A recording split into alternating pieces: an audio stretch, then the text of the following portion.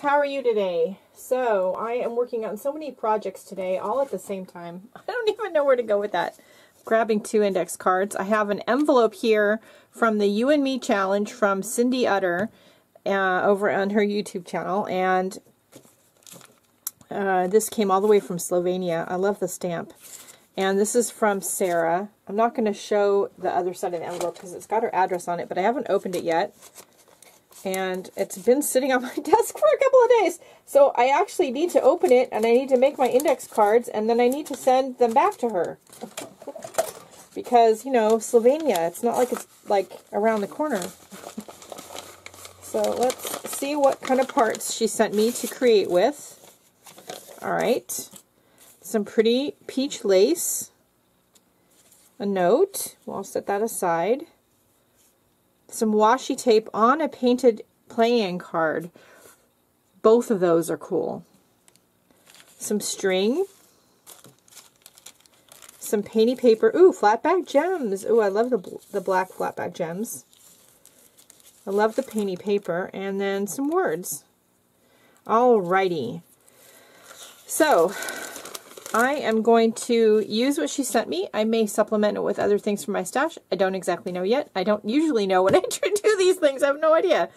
We'll see what happens, uh, what comes out at the end. I am going to create two index cards, one for her, one for me to keep, and let's see what happens. All right, I'm going to speed forward through the process. I'll be right back.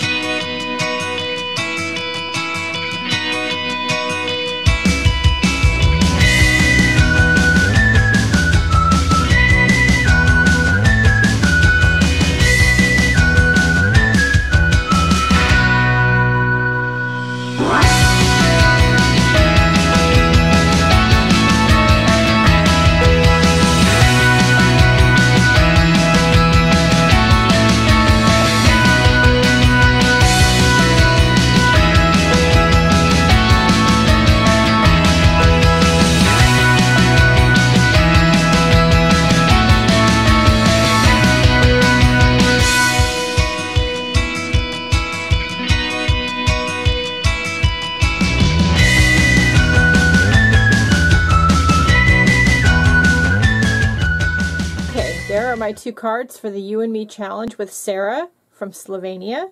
Sara, I had a lot of fun with your materials. I got very messy. That's always a sign of a good time, isn't it? so definitely I think that you guys can probably pick a couple of different things that I did to use in your next art journal spread.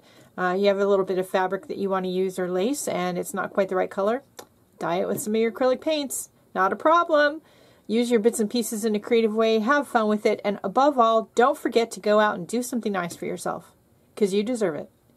I'm going to write a note on the back of one of these and pop it in the mail to Sara.